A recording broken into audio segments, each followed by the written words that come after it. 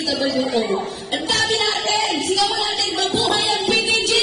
Mabuhay! Okay. Kunti na sinabi, PTG, dapat kayo, di ba? anyway, sige, ulitin natin. Sama-samang bayanihan! Kalinisan! Kalusugan! At kabuhayan! Di? Yes! Itigan natin ang malakas. Practice tayo para mamaya malakas marami tayong pagkain. okay, ulitin natin. Sama-samang bayanihan, Kalinisan at kabuhayan. Ayan ang inaasar natin na dapat natin makuha lahat. Diba? Yun. Siguro sama natin ang dalaga bago pa na isang tawag. Ayan, ayan ang tawang labor.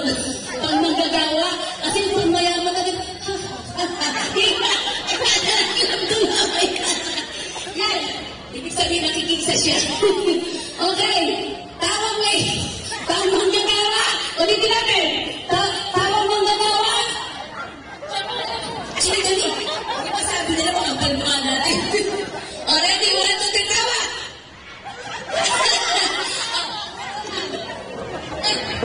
Ulit! Oh, yun ang manggagawa, di ba? Okay. Ulitin natin, malakas yung maganda. Kanina lang kuya. Sama-samang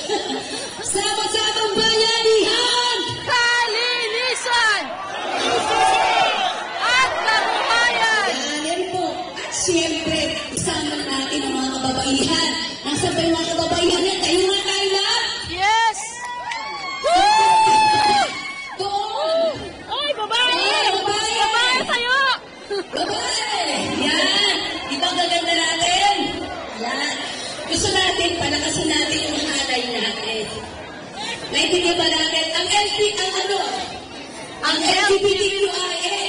Nasaan? Taas! Pagkakas natin, tayong lahat. Yan. Okay, once more. Ayan. Ang dami pala eh. Pag sinabi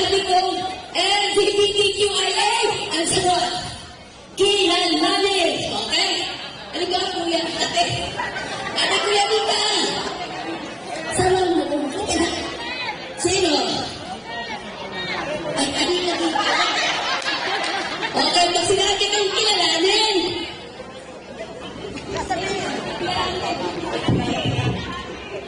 Okay. Halika dito. Mas maganda pa nga sa akin eh. Okay. Halika dito. Okay, sabihin natin. Kilalanin! LGBTQA. Ulitin natin ha. Uy, uy, tingnan mo.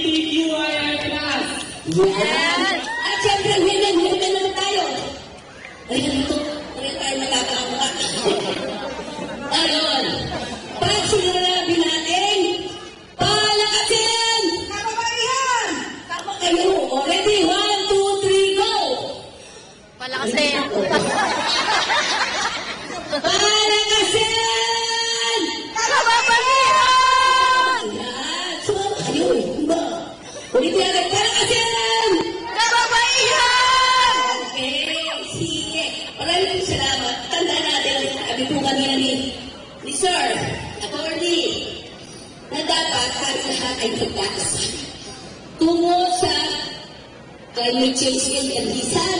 Di ba? Nagbabago na kasi ngayon. Pero tatandaan natin, magkaisa tayo.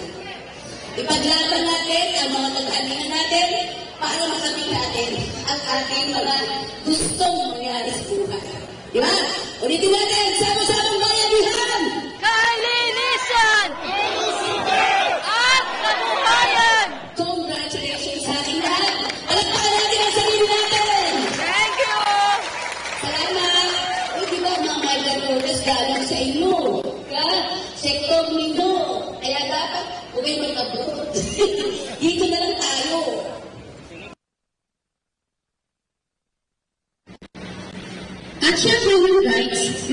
karapatan nating mga. So, although hindi everyday tayo may nakaka-attend ng mga trainings and seminars, pero tandaan niyo po, di ba, ang kaalaman, ang kaligtasan. Kapag meron kang alam, meron kang kakayahan. At dahil may kakayahan ka, maiiligtas mo ang sarili mo sa mga mamang api o mamang abuso o kung ano man yung mga mga hindi magagandang ugali ng isang kumpanya. So, dahil sa hindi nga tayo nakaka nakaka-attend ng mga trainings and seminars para madag madagdagan pa ang ating mga kaalaman, pwede naman natin itong gawin. Okay? Nandiyan lang si Google. Di ba pwede tayong magtanong kay Google? Nandiyan din naman si si si si YouTube na pwede rin nating pagtanungan o alamin ano ba yung dapat at nararapat. Walang, walang, hindi tayo dapat huminto sa pagdagdag ng ating mga kaalaman. Although tayo ay nagtatrabaho, busy tayo nagtatrabaho, busy tayo na dahil sa marami tayong mga bayarin sa buhay o sa bahay, pero pa man na po, yung pagdagdag ng kaalaman ay napaka-importante para sa ating lahat. Okay? So, muna doon sa mga kagbabaihan, muli, ano po, ah, sasabihin ko lang na ako nga po si Gina Espinosa, ang ah, Women PPGW o Women Committee Chair. So, sa mga susunod na mga araw, ano eh, pag-uusapan natin mga kababaihan, ano, yung, yun, yun nga, dagdag kaalaman, okay, para sa ating mga, para sa ating mga karapatan, at dagdag, dagdag, ah, ano tawag doon? livelihood. Kailangan din natin ng dagdag livelihood. Hindi porke nag, nagtatrabaho tayo dito na alam nga natin na medyo kulang. Di ba? Or hindi sapat. Kaya talagang kailangan natin ng additional pa additional uh, income para ma maabot pa natin yung iba pa natin pinapangarap. So, lahat ng yan pwede namang gawin dito eh. Kasi, di ba, alam ko, napakaraming mga overseas Filipino workers, ano, na at alam din naman natin lahat na napakalaki ng kontribusyon nila sa bansang Pilipinas. Kaya nga sila tinatawag na bagong bayani ng lahi. Pero dahil grupo kami ng mga migrant, hanggat maaari, ayaw din namin silang umalis. Pero yung sakripisyo kasi na yun, napakalaki. Na sakripisyo, iwan ng pamilya, magtrabaho sa ibang bansa, ano, eh hindi basta-basta. Kaya sana, dito, ano, syempre kasi may mga naririnig pa rin naman talaga ako ng mga manggagawa kababaihan natin sa ngayon na nag-iisip silang mag-abroad, nag-iisip silang mag-domestic worker. Kasi nga medyo hindi sapat yung kita sa Pilipinas. Kaya yan yung mga pag-uusapan natin. Dagdag kaalaman, dagdag kabuhayan, para manatili tayo dito sa Pilipinas. Ah, kasama natin ang pamilya natin. Di ba? Hello, mga kabaihan. Okay ba tayo dyan?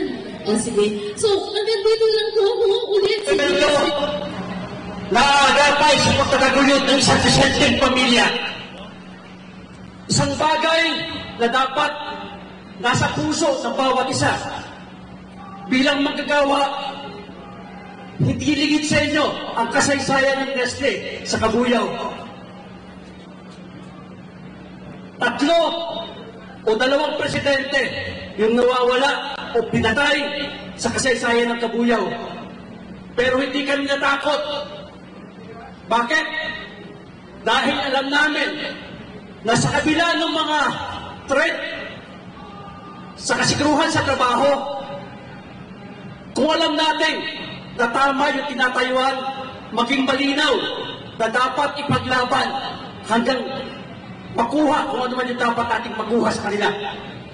Hindi natin kalaban ang kumpanya, Manapay kagapay natin sa lahat ng pagkakataon para itaguyod at mabigyan ng magandang kinabukasan ang ating pamilya.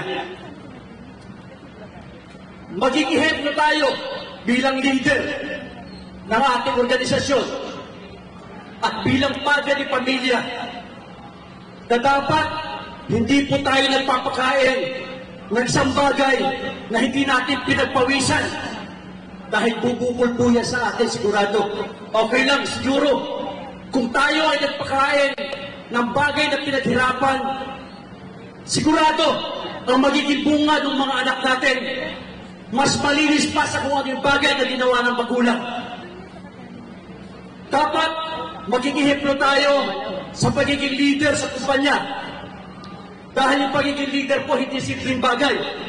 Maraming kaakibat at uh, karugtong na katungkulan na dapat nating maging uh, motibasyon sa pagbibigay ng isang ehemplo sa pagawaan. Dahil tayo at tinitingnan ng mga tao sa pagkalatan, dapat maging malinaw sa atin na ang dungis ng isa sa grupo, sigurado, parang pagtingin lang po sa salamin. Kung ano, ano yung dungis ng isa, dungis natin Ang lahat. bigat mo kaya? Ganun lang po kasimple. Isang magandang umaga at maraming maraming salamat po. Naaagapay sa pagtataguyod ng isang disenteng pamilya. Isang bagay na dapat nasa puso ng bawat isa. Bilang manggagawa, hindi ligid sa inyo ang kasaysayan ng Nestle sa Kabuyaw. Tatlo o dalawang presidente yung nawawala o pinatay sa kasaysayan ng Kabuyaw. Pero hindi kami natakot. Bakit?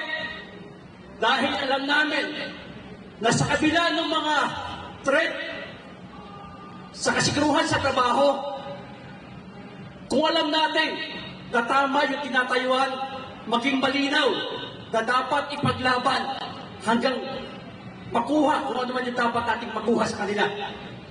Hindi natin kalaban ang kumpanya. Manapay kaagapay natin sa lahat ng pagkakataon para itaguyod at mabigyan ng magandang kinabukasan ang ating pamilya. Maging ehemplo tayo bilang leader ng ating organisasyon at bilang padre ni pamilya na dapat hindi po tayo nagpapakain ng isang bagay na hindi natin pinagpawisan dahil bubukol po yan sa atin sigurado.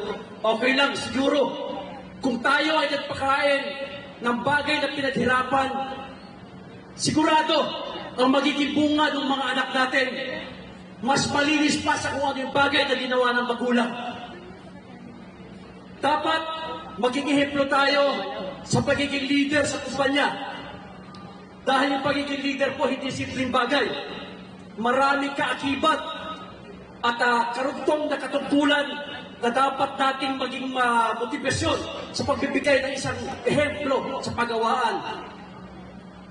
Dahil tayo at tinitingnan ng mga tao sa pagkalatan, dapat maging malinaw sa atin na ang dungis ng isa sa grupo, sigurado, parang pagtingin lang po sa salamin. Kung ano, ano yung dungis ng isa, dungis natin Ang lahat. bigat mo kaya? Ganun lang po kasimple. Isang magandang umaga at maraming maraming salamat po.